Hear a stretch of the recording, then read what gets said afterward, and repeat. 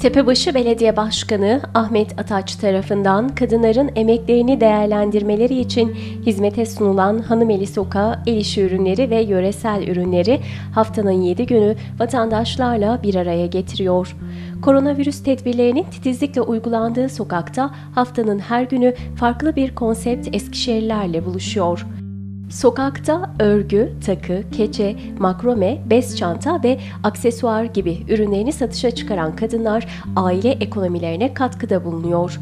Sokağı ziyaret ederek alışveriş yapan vatandaşlar da Hanımeli Sokağı'nı çok sevdiklerini belirterek sokakta keyifli şekilde vakit geçirdiklerini söylüyor.